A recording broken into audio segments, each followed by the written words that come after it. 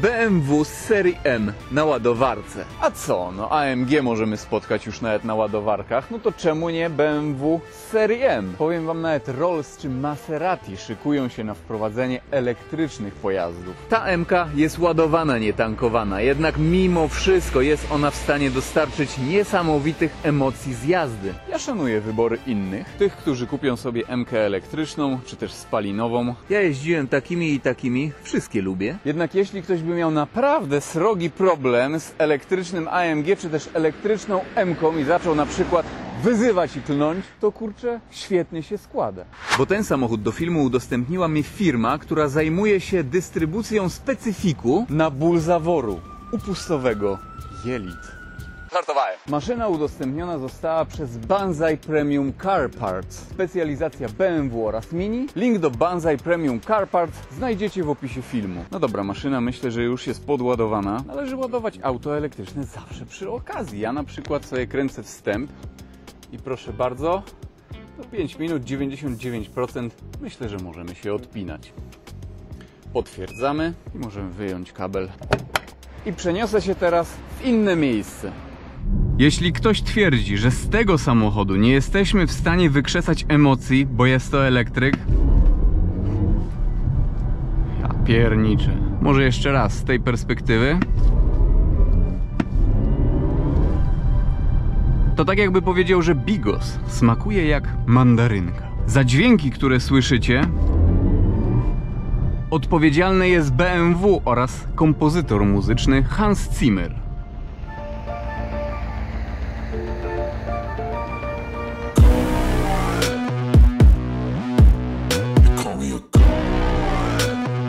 Świrnięty samochód elektryczny. Banzai Premium Car Parts mają jeszcze busa elektrycznego, który po prostu im pracuje. No wiecie, taka bardzo dynamiczna osobówka elektryczna, to tak normalne. Ale elektryczny bus Mercedes EQV? No może uda mi się też wyszarpać go do testów. No MK dzisiaj, już taka nowoczesna z tymi większymi nerkami. W ogóle jak możemy najszybciej poznać, że jest to prawdziwa MK?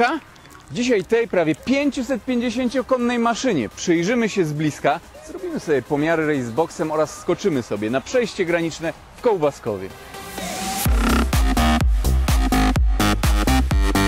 BMW i4 w topowej wersji M50.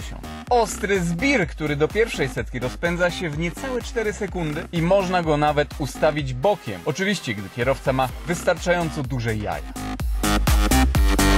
elektryczne BMW, ale będę odnosił się też na pewno do Tesli Model 3, ponieważ to jest taka jakby konkurencja. Wymieniłem się na kilka dni z szanownym właścicielem tego BMW, no i sobie oboje po prostu wszystko porównujemy. Co sądzicie o tych nerkach? Kurczę, z przodu ten samochód na żywo wygląda całkiem atrakcyjnie. Trzeba przyznać, że jest to niezły odwracacz głów, ale rzecz jasna, nie podchodziłem do każdej osoby i nie pytałem, czy mi się ten wóz podoba, czy też nie. Napiszcie w komentarzu, jak Wam się ten większy grill opatrzył, no to spoko. Jak nie, no to jeszcze poczekamy, tak jak z E65 BMW. Jeśli chodzi o BMW i4, no to w zasadzie wygląda ona bardzo podobnie jak po prostu seria czwarta, The Four, w wersji Grand Coupe oczywiście, bo w sumie taka i czwórka w zasadzie jest zrobiona na czwórce Grand Coupe. Nie był to samochód stricte stworzony jako elektryk, tylko po prostu elektryk stworzony na bazie spalinówki. Bardzo łatwo to można poznać. Od razu zajrzymy na chwilkę do środka. Proszę bardzo, mamy tunel środkowy. Mimo, że on nam tutaj w zasadzie potrzebny nie jest. Mamy napęd na wszystkie koła, ale przecież silniki w samochodzie elektrycznym są pomiędzy kołami. Stworzony na bazie, na platformie powiedzmy spalinówki, a mimo wszystko bateria jest tutaj w podłodze, ma 11 cm wysokości, także jest no, no taka bateryjka. Wszystko się tutaj zmieściło. W zasadzie to tak z boku patrząc na ten wóz, taki mały, mobilny bunkier, to ciężko rozpoznać, czy jest to na pewno elektryk, czy może jednak spalinówkę. Chodzi mi o to, że jeśli spojrzymy na Tesla Model 3, czy to z zewnątrz, czy to wewnątrz, na pewno nie będziemy mieli wątpliwości, że jest to po prostu Tesla, ale Tesle tak jakby emanują bardzo, że są inny. Mi to nie przeszkadza, ale niektórzy wolą, żeby po prostu auto wyglądało troszeczkę normalniej. No Tesli z przypadku nie wybrałem, ale muszę podejść obiektywnie do tematu tutaj. Linia boczna, gdy tak porównamy sobie i czwórkę do pff, no czwórki Gran Coupe, ale poprzedniej generacji, no troszeczkę tutaj zaszło zmian. Niby bryła jest podobna, dość długa maska, przednia oś wysunięta bardzo do przodu, znacznie dłuższy zwis tylny względem przedniego, no i dość daleko opadająca linia dachu, ale to wszystko jest takie bardziej jakby kwadratowe. Masa takich ostrzejszych kształtów. Auto wygląda tak.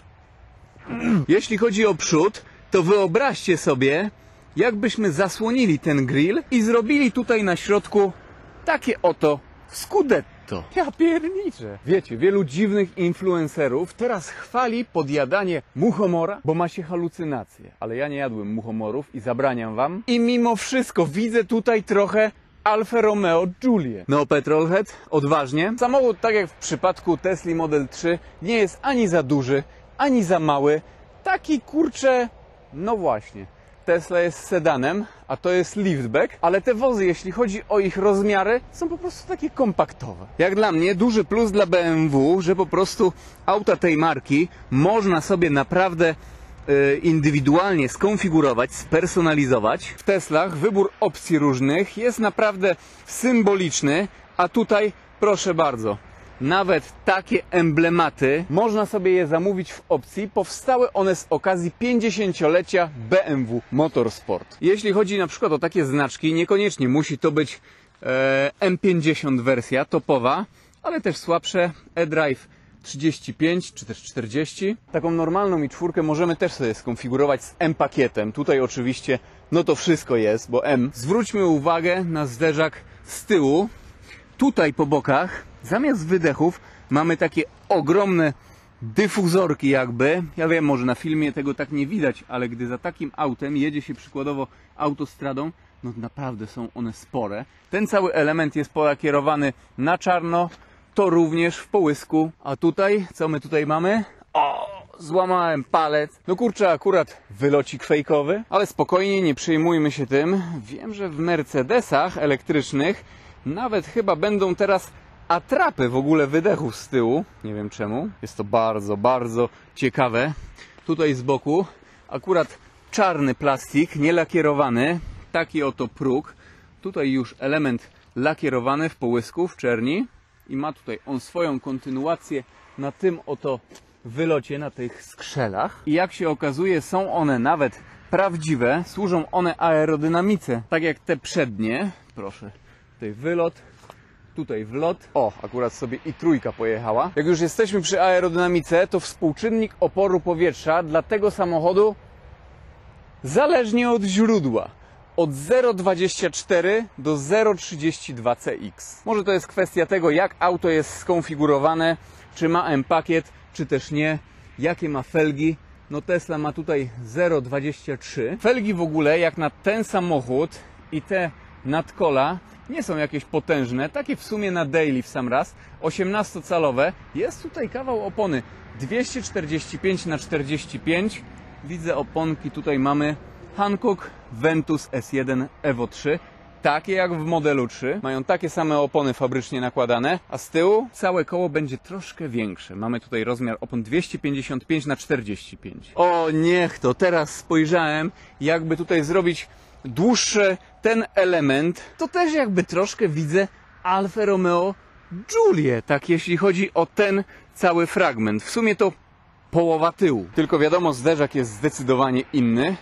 No i dobra, myślę, że możemy zajrzeć do środka. Bagażnik mamy tutaj jeden, nie dwa. Z przodu nie ma bagażnika. Ale widziałem na forum właścicieli pojazdów elektrycznych już niektóre osoby myślą nad frankiem. Tak, front i trunk, no to frank nad frankiem do przodu tutaj, do tego BMW. Bagażnik tutaj jest taki powiedzmy nie za potężny, ale też nie za mały. Bardzo fajnie, że tutaj półka jest dość wysoko. Bagażnik ma tutaj 470 litrów. Jeśli porównamy do modelu 3, no to otwór załadunkowy tutaj gdzieś się kończy. No a tutaj trochę moich gratów. Zobaczmy co tutaj pod spodem. No takie miejsce na kabel. I Harman Kardon, chyba to jest subwoofer. Jest tutaj audio Harman Kardon. Gra naprawdę pięknie. Kamer na tym samochodzie jest naprawdę dużo. Widok e, 360 stopni, widok na przód, z tyłu, z przodu, gdy podjeżdżamy gdzieś blisko. Nawet tutaj gdzieś po bokach są ukryte czujniki parkowania. No i tak, jedna, druga kamera, trzecia, czwarta i tutaj piąta, ale nie wiem, jak tak parkujemy tym samochodem, wydawałoby się nam, że tych wszystkich kamerek tutaj jest zdecydowanie więcej. Jeśli chodzi o przód, no to tutaj te fragmenty są fejkowe, tu prawdziwe, tutaj dół jest prawdziwy, tutaj ten grill, zobaczcie, dotykam i wcale mi nie urywa ręki, można z tym sobie żyć spokojnie.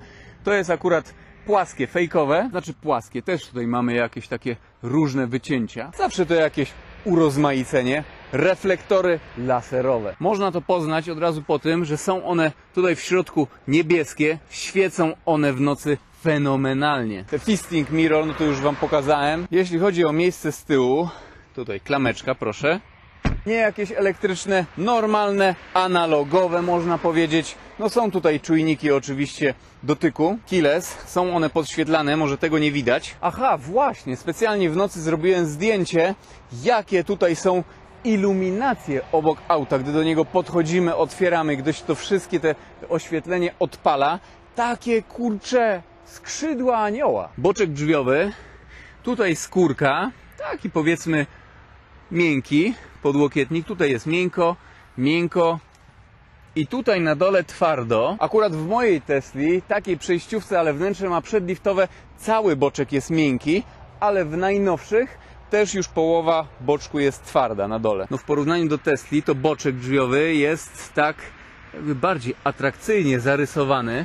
Te wszystkie dekory, elementy, proszę, Harman Kardon, nawet te przyciski, ładne, srebrne, ale Tesla w zasadzie no, z góry miała być bardzo minimalistyczna w środku. Tutaj jest jak w takiej normalnej, nowoczesnej BM-ie. Jeśli chodzi o miejsce z tyłu, no to nie jest to może największy samochód na świecie, w jakim siedziałem. Troszeczkę mi tutaj brakuje miejsca na głowę, czy też jak fotel jest wyregulowany pode mnie, mam prawie 2 metry wzrostu, no to też tutaj siedzę sobie w rozkroku. Jakoś się tutaj mieszczę, ale w Tesli jest no więcej miejsca z tyłu, za to nie ma tutaj strefy klimatyzacji. Są tam nawiewy, a tutaj w BMW możemy normalnie regulować sobie temperaturę. Są nawet podg- podgrzewana kanapa jest. Chociaż w Tesli akurat też w każdej trójce jest. Wystarczy sobie z aplikacji wykupić poważnie. Porty do ładowania, kura, przyszycia. Też to jest powiedzmy tak e, ciekawiej wszystko zaprojektowane. Jest tutaj pełno urozmaiceń. No gdy spojrzymy na to wnętrze, oko z pewnością nie będzie się tutaj nudziło. Okno dachowe pewnie mogłoby być tutaj w opcji, ale za to mamy czarną podsufitkę. W Tesli tego nie mam. Ok, przejdziemy do przodu. Tutaj identyczna sytuacja jak z tyłu i boczek drzwiowy analogicznie tak jak z tyłu. Tutaj na dole jest twardy i tutaj jest wszystko oprócz dekorów i przycisków miękkie. No i może tego panelu, ale to normalne. Fotele przednie, takie współsportowe w sumie, mają tutaj możliwość, proszę, regulacja oczywiście elektryczna, ale też regulacja boczków, jak tutaj mają, o, jak tutaj nam rosną, pewnie tego nie widać na kamerze. Sporo tutaj mamy takich przyjemnych akcentów, jak no tutaj emblemat M na tej listwie. Tutaj przyszycie na dywaniku. Takie samo przyszycie pojawia się tutaj. Empower. Na kierownicy również emblemat M, no i M-kowe przeszycie. Tak tutaj mieści się prawie dwumetrowy petrolhead. W zasadzie to nie czujemy, że mamy tutaj pod podłogą baterię. Siedzi się normalnie. Jak to w każdym BMW, pozycję za kierownicą znajdzie tutaj niższa, jak i wyższa osoba dla siebie idealną. Kierownica. Okrągła, bez żadnych podcięć, jak to na BMW przystało. Gruby wieniec, bicepsy. Jako, że to jest elektryczne BMW, no tutaj możemy też znaleźć niektóre niebieskie elementy, tak jak tutaj wokół emblematu. Kilka elementów srebrnych, tutaj przycisk do podgrzewania kierownicy. To nawet jest wyszyte w skórce takiej, nie wiem czy prawdziwej czy nie, ale ładnie to wygląda i fajne jest w dotyku. Taka jest perspektywa z oczu kierowcy. W takim BMW siedzi się jak każdym innym nowoczesnym BMW. Jesteśmy tak mocno obudowani, szyby są tutaj troszeczkę mniejsze. W moim modelu 3 kabina wydaje się jakby bardziej taka obszerna, ale to myślę kwestia tego, że mam po prostu szklany dach, jasną podsufitkę, jasne skóry. Tutaj wszystko jest ciemno skonfigurowane, ale gdy tak odczuje po prostu to wszystko, to w zasadzie w obu autach jest podobnie. No może jak ktoś jest wyższy, to ciężko będzie mu tutaj dopasować fotel tak, by e, pod udzie dotykało po prostu o to miejsce. I tutaj na pewno będziemy dotykać nogą e, o tunel środkowy. Tunel jest bardzo gruby, tak wysoko poprowadzony, ale tu jest wszystko miękkie. Też jest tutaj skórka. Tutaj już jest twardo. Podłokietnik jest skórzany, miękki, spoko. Takie srebrne dekory, w taką krateczkę specyficzną. Górna część deski rozdzielczej jest w skórze. Nie wiem, czy to jest prawdziwa skóra, czy ekoskóra, ale są tutaj wszędzie przeszycia. Wiem, że tutaj chyba nawet w opcji można zrobić tak, można skonfigurować auto tak, by tutaj było też przeszycie. Znaczy przeszycie, żeby ten element był skórzany. No właśnie, w Tesla Model 3 na przykład, no nie. Ale u mnie na przykład okno dachowe i to takie duże strasznie jest w standardzie. Head up, też tego nie ma w Tesli, chyba nawet w modelu S też nie. Tu taki ciekawy głośnik. W ogóle odpalmy sobie ten samochód, niech sobie pochodzi.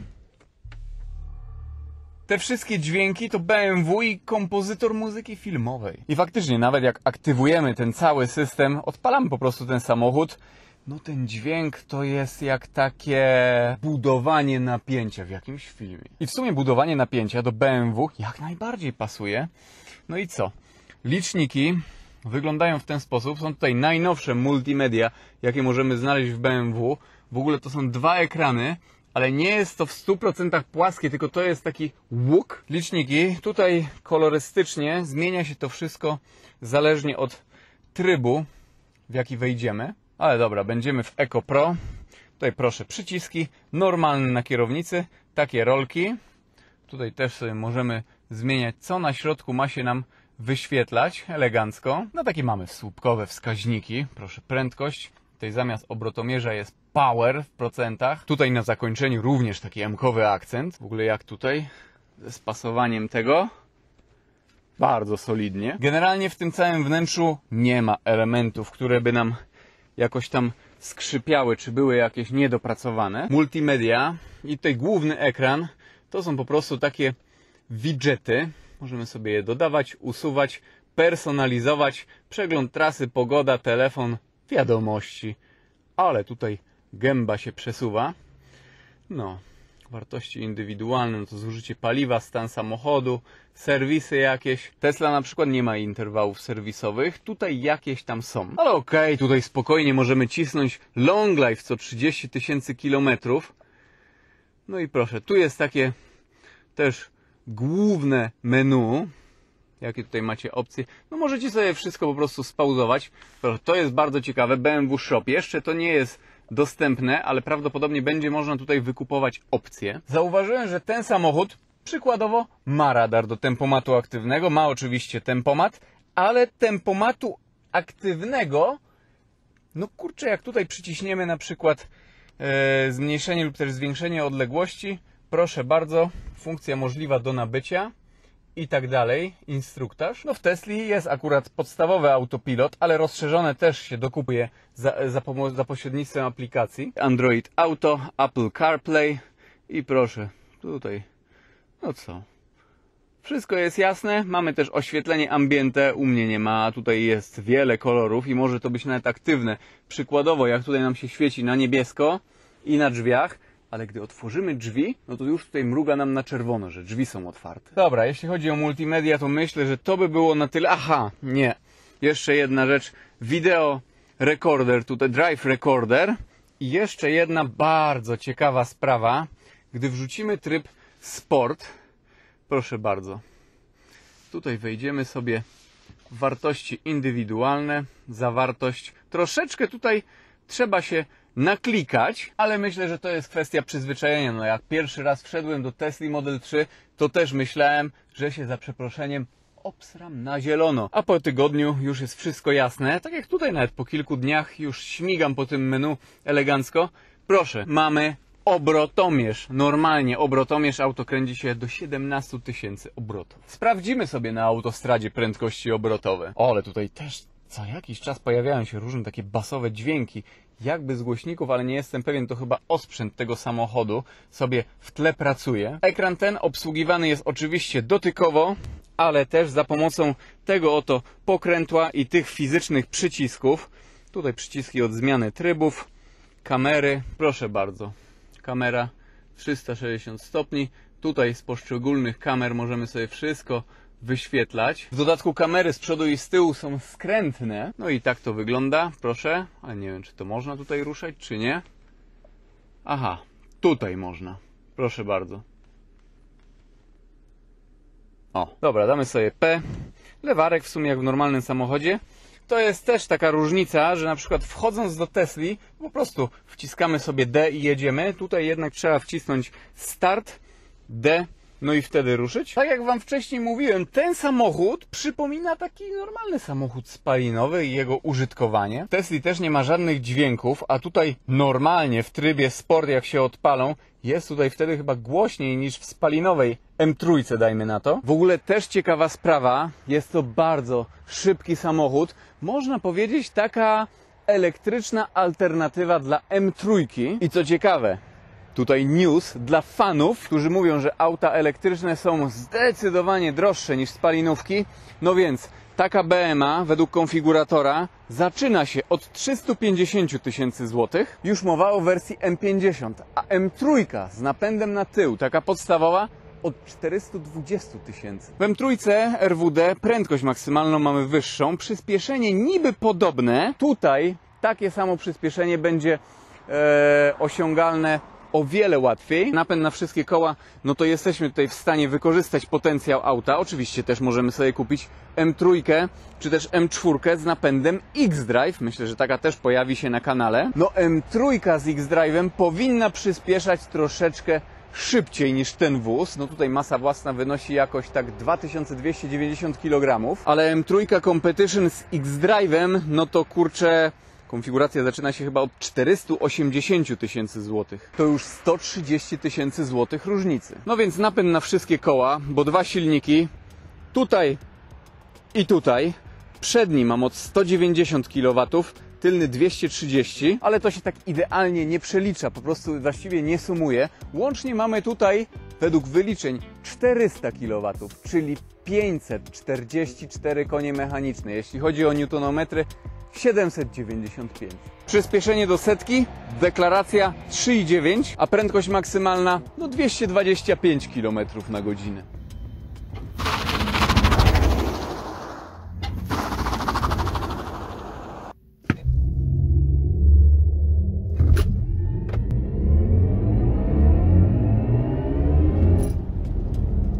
Jeśli chodzi o baterię, pojemność brutto prawie 84 kWh, pojemność netto 87, czyli pojemność użytkowa. No całkiem spora bateria, trzeba przyznać. Mamy tutaj dodatkowo pompę ciepła, prędkość ładowania, taka najszybsza, w, naj, takim, w najbardziej korzystnym momencie to 207 kW.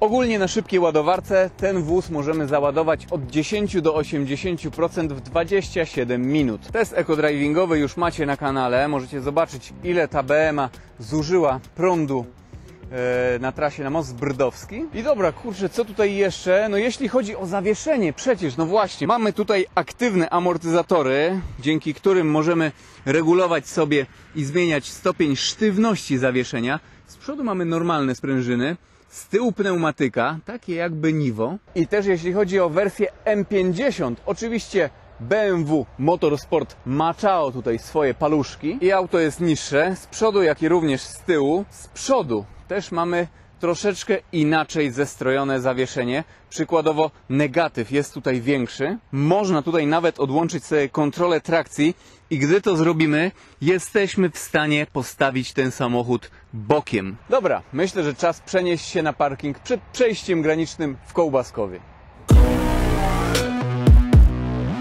To jesteśmy na miejscu, palimy bestię. No bestia jak najbardziej, prawie 550 koni mechanicznych. No i co, może na wstępie sobie tutaj skasujemy zużycie energii elektrycznej. Mamy 87% baterii. do setki mierzyłem ten samochód, jak miał gdzieś 91%, coś takiego. Damy sobie też tryb Sport. I proszę bardzo, Sport Boost. I tutaj na liczniku jest taki boost, który nam się ciągle ładuje. Szczerze mówiąc, ciężko mi powiedzieć, na czym on polega, ale coś takiego jest. Tutaj damy sobie adaptacyjna zawartość. OK. I mamy newtonometry, kilowaty, obroty, obroty i temperaturę silnika 39 stopni. I ok, no ciekaw jestem, jaki ten samochód będzie, jakie będzie miał przyspieszenie do, od 100 do 200. No i nic. Myślę, że możemy startować. Pozdrawiamy tutaj widzów oczywiście, którzy mnie poznali. Ogólnie, jeśli chodzi o rekuperację, to występuje ona tutaj aż do 195 kW. Tak mocne odzyskiwanie. Tryb D, to też Wam wcześniej nie wytłumaczyłem, w teście spalania tak. Ale tutaj jak jedziemy w trybie D, to auto nam zwalnia, ale nie zwolni nam absolutnie do zera. Dopiero w trybie B możemy jechać taki one pedal driving, wtedy jest jazda i to auto hamuje nam do zera. Siłę rekuperacji oczywiście możemy sobie regulować. No i dobra. Myślę, że możemy startować.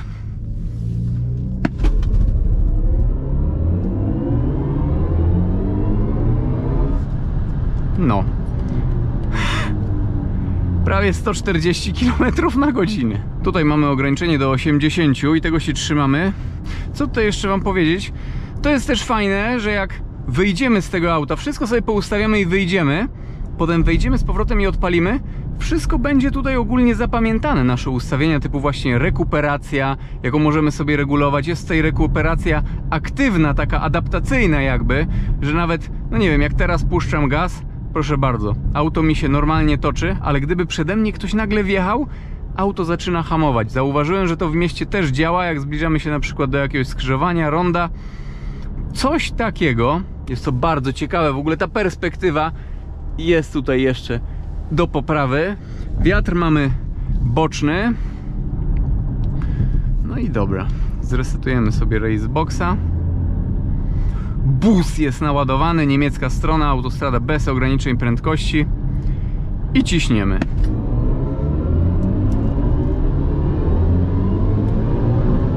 Ja pierniczę. Dobra, dziękuję. 8, 19 było minus 1,8% spad. 8, 19, 100, 200.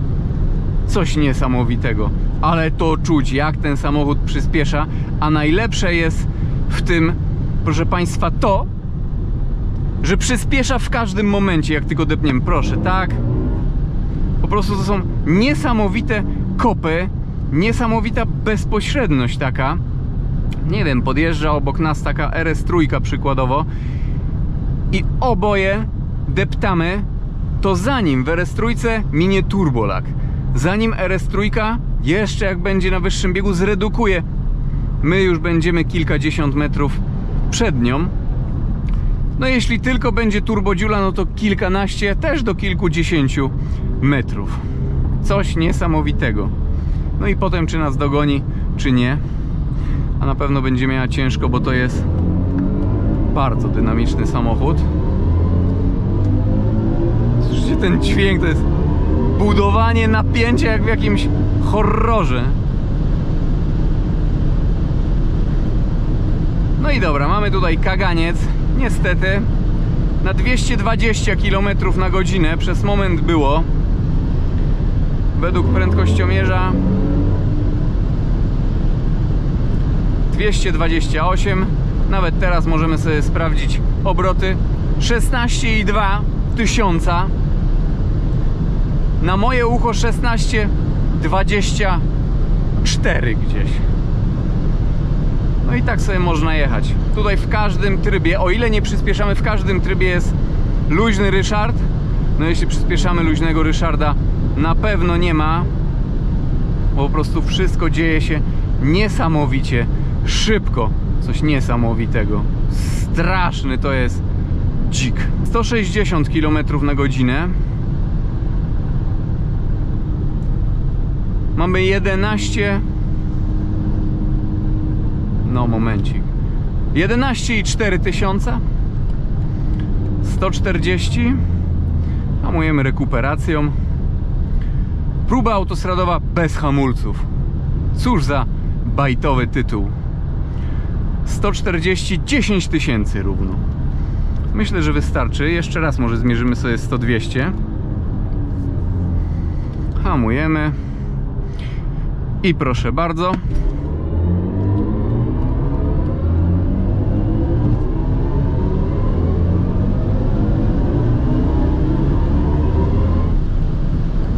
Osiem i trzy. I tutaj było już dość równo. Coś kurcze niesamowite. Ja pierniczę. Ale to jest rzeźnik. Wiecie co?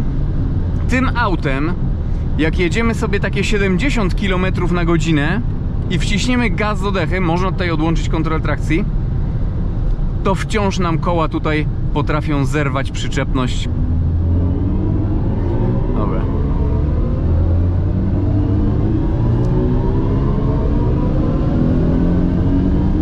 W jakimś horrorze to jest dźwięk. No, gdy startujemy spod świateł z takim BMW i4, jak ktoś stanie w i4 obok, to też pewnie będzie to horror dla kogoś, kto ma dużą, mocną V8 i może mieć problem. Masakra. No, ta rekuperacja. Teraz to w sumie co? Toczymy się jak jest na D. No możemy sobie napedać. No i tutaj wtedy od razu auto nam ostro zwalnia, odzyskując energię. Średnie zużycie energii elektrycznej, jedziemy z włączoną klimatyzacją, to 46,6 kWh. No widzicie, jedziemy sobie naprawdę ostro. Moja Tesla, no i mniej zużyje, bo 37, 38, tak maksymalnie jak 32 stopnie były Celsjusza. Ale kurczę jest znacznie słabsza. No 100, 218 sekund gdzieś, a tutaj 8. Co? Nawet ja spodziewałem się, że będzie gdzieś tak 9 coś. No i chwilę, jakbyśmy tak od 0 do 200 sobie ten wóz zmierzyli, to ile by wyszło? Jakoś lekko ponad 12 sekund, od 0 do 200. No i dobra, tutaj musimy sobie spokojnie pojechać, bo chyba koszonko. No i teraz patrzcie, jadę 80 km na godzinę i z tej perspektywy.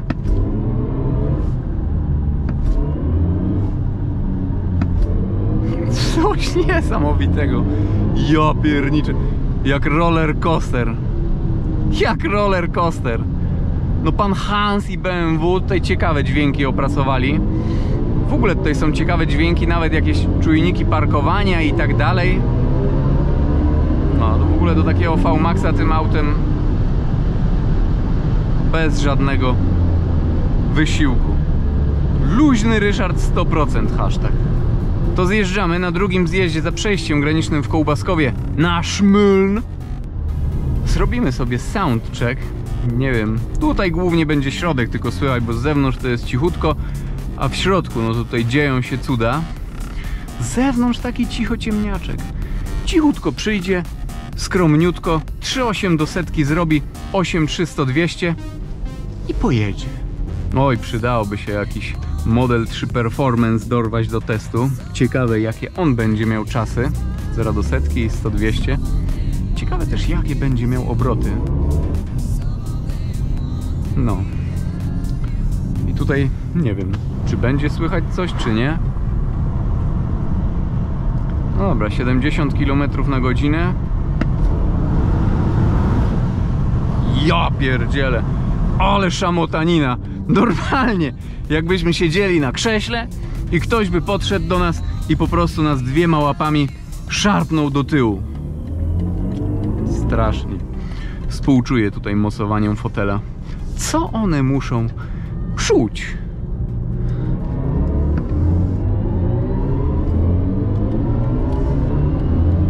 Ogólnie strasznie tutaj trzeba uważać, jak się przyspiesza tak od zera do setki szczególnie. bardzo mocno trzymamy kierownicę, bo ten samochód tak chce nam wyrywać. A gdy wyłączymy kontrolę trakcji, no to jak mówię, jakieś takie ostrzejsze, cięższe i takie specyficzne bardziej manewry, które nie są dopuszczone na publicznej drodze, też są tutaj dostępne. Co tutaj jeszcze? No jeśli chodzi o wyciszenie, no to będzie tutaj ciszej niż w modelu 3, aczkolwiek troszeczkę po prostu szumy słychać, jakbym się miał doczepić z uszczelek drzwi, ale tak tutaj z przodu dźwięk opon w sumie jest tutaj naprawdę kulturalnie. No i też tutaj narowistość tego samochodu, no to zależnie od trybu, w jakim jedziemy. No, jak mamy tryb sport i D ustawione, no to jest auto najbardziej żwawe. Jak mamy tryb B już tutaj wrzucimy, nawet przy trybie sport, no to bardziej musimy wciskać e, gaz. Chociaż auto też mocno nam przyspiesza. Jak wrzucimy tryb Eco Pro, no to proszę, już tutaj jest cichutko. Auto nam sugeruje, byśmy troszeczkę zwolnili. Gdzież to tak się śpieszymy nagle? No i ogólnie taki najdelikatniejszy tryb, jakim tutaj, w jakim tutaj możemy sobie jeździć, to właśnie Eco Pro i B, czyli maksymalna rekuperacja i zatrzymywanie do zera, one pedal driving. I tak w zasadzie tym autem możemy sobie śmigać na co dzień. Jak jeździmy taką i czwórką spokojniutko, mimo że mamy tu prawie 550 koni mechanicznych, nie pod maską, bo między kołami, naprawdę nikt tutaj z pasażerów nie będzie się spodziewał, jaki to jest potwór. No o ile jedziemy w tym trybie. No wrzucimy sobie z powrotem tryb sport, idę.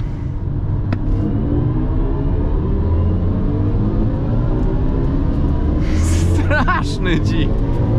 Straszny dzik. W tym filmie to by było na tyle. Próba autostradowa kompletna 40 kWh na 100 km zużycie energii elektrycznej. Mam nadzieję, że ta maszyna Wam się niesamowicie podobała, bo mi jak najbardziej, jak wyjdzie elektryczne Maserati, też mi się pewnie spodoba. Pozdrawiam i do zobaczenia w jakimś kolejnym filmie. Na razie trzymajcie się.